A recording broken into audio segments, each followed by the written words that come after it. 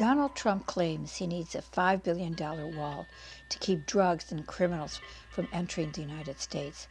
But it is not the Honduran asylum seekers that are bringing illegal drugs into the U.S., it is the Honduran ruling class.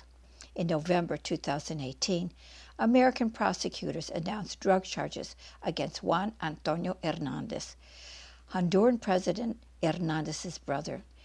They describe him as a large scale drug trafficker who spent a dozen years moving cocaine shipments bound for the United States through Central America. In March 2017, Fabio Porfirio Lobo, the son of the fraudulent 2010 2013 President Pepe Lobo, was sentenced to 24 years in prison by a U.S. federal judge for drug trafficking. The involvement of the Honduran ruling class in drug trafficking is extensive. It includes the Honduran National Police.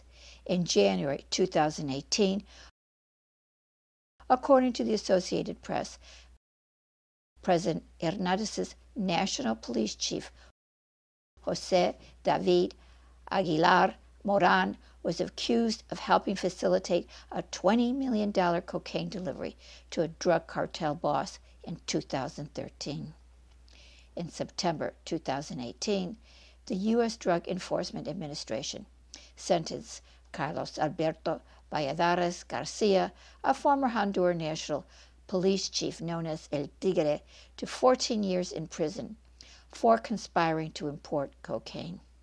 Yet, in 2017, Vice President Mike Pence met with Honduras President Juan Orlando Hernandez and praised the country's fight against drugs and corruption.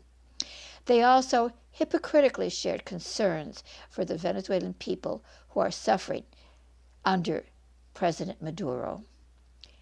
As the Cato Institute noted, drug smuggling activity now primarily occurs at ports of entry, where building a $5 million wall will not stop the Honduran ruling class and other drug cartels from importing drugs. In August 2011, according to CBS and Fox News, the U.S. Coast Guard seized 7.5 tons of cocaine worth about $180 million from a submarine like craft off the Honduran Caribbean coast. The Miami Herald reported that in November 2018, the U.S. Coast Guard seized about 18.5 tons of cocaine worth $5 million at Port Everglades in Fort Lauderdale, Florida.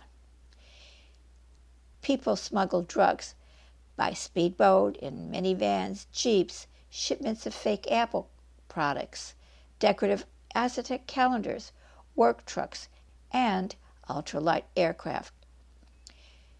It was smuggled in by U.S. citizens, even a French citizen who was a legal U.S. resident.